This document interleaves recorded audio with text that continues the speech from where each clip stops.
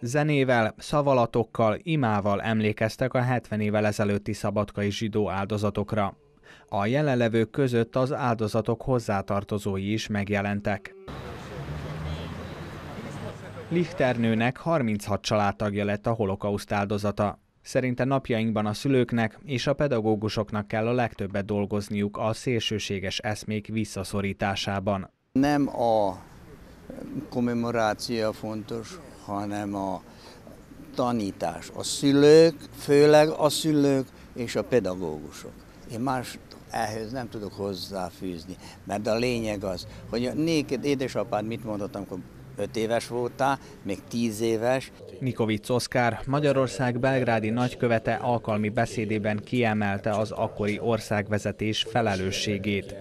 Egyúttal hangsúlyozta azt is, hogy a múltal való szembenézésnek ma kiemelt fontosságot tulajdonít Magyarország. Örvendetes az, hogy ez mennyire tudatosodik mindenkiben, hogy a, a, a múlt föl nem tárása vagy a be nem vallása akadály.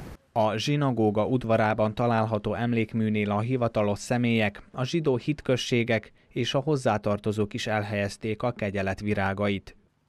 Maglai Jenő szabadkai polgármester szerint nem csak magából a deportálásokból kell okulniuk az embereknek. Hanem azokból az eseményekből is, amelyek előzményként jelentek meg a történelem forrán ezeknek az események, és amelyek kiváltották valójában azokat az eseményeket, amely egész közösséget itt Szabadkáról eltüntetett. A párbeszéd az eseményekről már rég folyamatban van Szabados Róbert, a Szabadkai Zsidó Hitközség elnöke szerint. A második, harmadik generáció beszél erről, nem azok, akik a benne voltak a történésekben, és ez, ez már relaxálja a, a viszonyokat, és megadja azt a lehetőséget, hogy mindenről bírjon beszélni.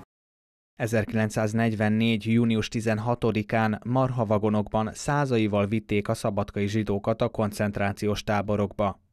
Ezzel csak nem teljesen megsemmisítették a város zsidó közösségét.